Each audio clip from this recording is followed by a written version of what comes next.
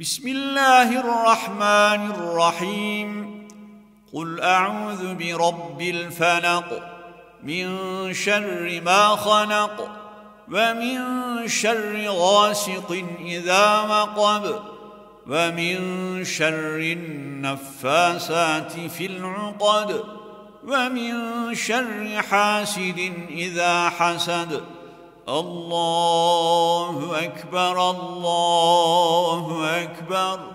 لا إله إلا الله الله أكبر. الله أكبر ولله الحمد.